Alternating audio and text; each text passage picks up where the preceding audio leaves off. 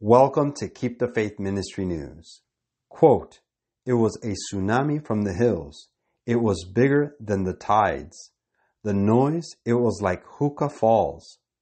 Ricky Reed gazes at the wall for a moment, and you get the impression he can still hear the sound of water flooding into Esk Valley. His five year old son Parker sits nearby, quietly playing. Reed was part of a nighttime road crew that came in to help when Cyclone Gabrielle struck, blocking off parts of the state highway where huge trees had fallen. At around midnight, as water started rising fast, they began evacuating people. But then he realized that the truck he was in was stranded. There were waves over the highway. The rapids were on both sides, he says. He saw the road itself start to ripple as the water forced its way underneath the asphalt. Sitting in the marooned truck, he took a moment to write a message into his iPhone Notes app, farewelling Parker. As the truck filled with water, he climbed out into the branches of a nearby tree. Water roared through the valley. The first tree snapped in half, but Reed grabbed onto another. He clung to that trunk for hours, up to his neck in water, knowing if he climbed any higher, the trunk might be too thin to bear his weight and he would be carried away. Quote, I just held on there all night thinking about him, his smile, he says quietly, nodding toward Parker. Reed's home was flooded and he doesn't yet know when he can return or what its future will be. As a worker on drainage infrastructure and catchments, he has thought about the valley's vulnerability to flooding and the changes that might be needed to protect it. Quote, we definitely have to rethink. If you look at the way the valley's shaped, that's where water has been, so it's not the first time. Then again, he says, I don't want to leave. It's my home. Once I can get back here, I'll get back out there.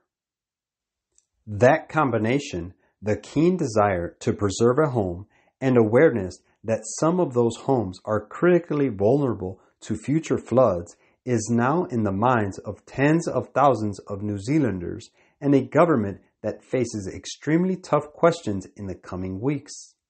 Reed is one of hundreds of thousands of New Zealanders who lives in a region at ongoing risk from flooding and extreme weather events.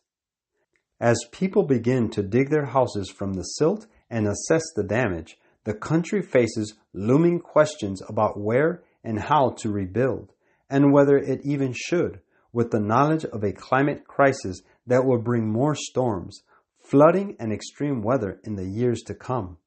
We need to adjust our societies. Quote, there are difficult conversations ahead for New Zealand about exactly where we all live, Finance Minister Grant Robertson said on Sunday, shortly after walking through the remains of a ruined power station, and the infrastructure that's required to get us to and from all of that. As the climate heats, scientists agree that extreme weather events, including flooding and cyclones, will happen more frequently and with greater intensity. According to the government's National Adaptation Plan, one in seven New Zealanders, or 675,000 people, live in areas prone to flooding, and another 72,065 live in areas projected to be subject to extreme sea level rise. Some of those areas can be protected by extensive mitigation measures seawalls, stop banks, stilts, early warning systems for flooding. In others, however, those measures will be cripplingly expensive or simply impossible, leaving an intolerable risk to the lives of any who live there. Quote, if those communities go back and rebuild today, are we responsible for letting them do that? Robertson said in a television interview on Sunday. Two words New Zealanders are going to get used to hearing over the next few years are managed retreat. Some of those calls need to be made extremely quickly, says Professor Ilan Noy, chair of the Economics of Disasters and Climate Change at Victoria University before people start to repair and rebuild. Quote, as painful as it is, it's much less painful in this kind of situation where your house has already been destroyed to be told, we think it's not viable for you to remain there, he says. It's less painful to do that than to take someone who has a beautiful house and no damage to tell them, you know what? The science is suggesting that this is no longer safe. New Zealand's government has forced communities to retreat from natural hazards before. After Christchurch's earthquake, about 8,000 houses were red zoned. The land they were built on designated too unstable to ever sustain residential development. The government bought out the land, converting much of it into public parks. Noyes says that this could offer a kind of model to the response to Cyclone Gabrielle. Quote, it's painful to ask people to leave, especially from areas that potentially they've lived in for a very long time, maybe generations, Noyes says. But we live in a world which is changing. We cannot ignore the fact that the climate is changing and we need to adjust our societies to those changes. On Monday afternoon, the government announced an initial 250 million for emergency repairs to the road network and 50 million for immediate business support.